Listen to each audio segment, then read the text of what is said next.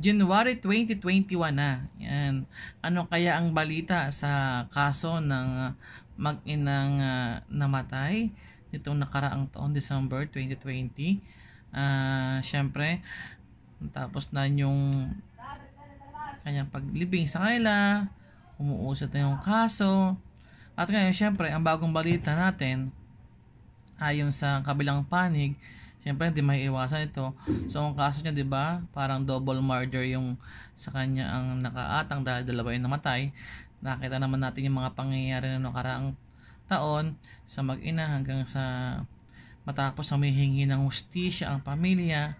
At ngayon, mapansin nyo, sa bagong balita natin na napakinggan, nakita natin sa mga telebisyon, sa mga dyaryo, na itong pulis nating ito na nakapatay, sa mag-ina ay naghahain ng not guilty plea. Siyempre, karapatan naman niya yon.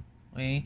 So, ang, mag, ang maghuhusga lang dito ay ang ating uh, mga taga-hukom, di ba, na hawak ng kaso, na sana tayo bilang uh, nagbantay, na, nakiisa sa nangyayari, nakita natin na pangyayari, na alam naman natin na talagang isa sa hindi malilimutan pangyayari ng 2020, ay magmasid pa rin tayo sa mga bagong update kung ano ang kahit na ng kasong ito. Sana uh, bilang isang uh, nakapanood ng mga pangyayari ay mabigyan ng tamang hustisya ang mag-ina.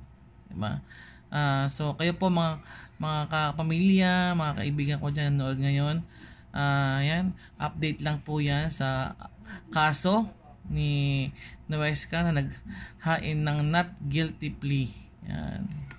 So, tayo po ay makibalita at sana naman makamit pa rin natin ang totoong hustisya.